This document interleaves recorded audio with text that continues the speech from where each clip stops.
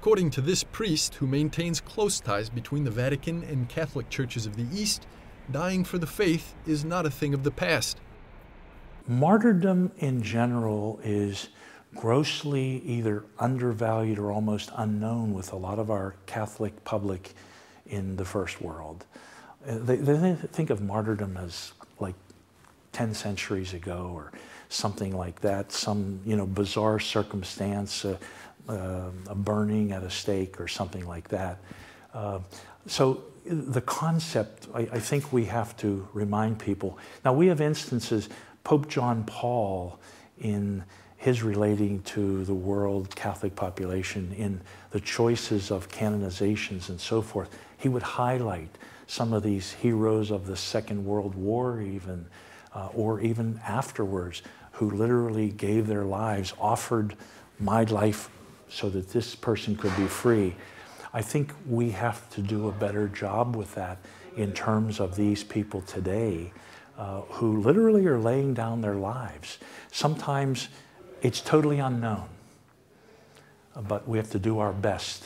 We have to do our best uh, to try to share these stories. You know, you don't need something super dramatic to illustrate a point that people are literally giving their lives for Christ. Sometimes it's done in such a private, silent way, but no less effective and no less total than someone whose life and death have been written about, even made into movies. So I, I think we have to uh, bring that concept back into the public conscience. Monsignor John Kozar leads the New York based Catholic Near East Welfare Association, or CNEWA for short. They work to bring aid to the Middle East. They build convents, seminaries, diocesan offices, hospitals, and schools to keep them going. But they also work in favor of orphans, handicapped, and disadvantaged, and promote Christian unity. The position gives him a privileged view of how the Church acts and exists in the Holy Land. Well, uh, I was just there, and I, I, have to say, first of all, it's, uh, it's extremely complicated. I, I have to be honest, I, I, knew a little bit about a lot of different things.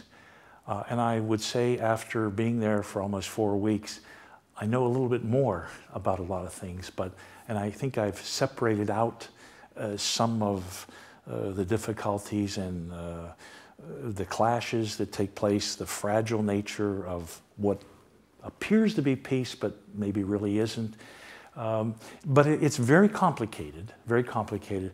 But underlying all of the complexities and all of the personality conflicts, and, and I must say, I've, I felt some of those even within the churches. Uh, I, I must say, though, that from the poor, from the people themselves, and I find this all over the world in my other mission job, the poor really uplifted me. The simplicity of their faith, uh, the, the endurance, the patience that they have. Even if their leaders uh, squabble, or even if they're persecuted, or even if the rules change on any given day with a government or an authority or whatever it might be, the people, I think, through their faith, they endure. He sees plenty of reasons for hope but he also sees the possibility of there being a run of modern martyrs. I, I think there will be perhaps a new wave, and historically we've had this. They're unnamed. They're unnamed, but it was this group that was massacred, this group that died in a bombing, uh, or something like that. It may not, in the minds of some, have the full weight of, um, you know, a dramatic, long-term story, but again, not to diminish one iota the dignity of that person or persons giving their life for Christ.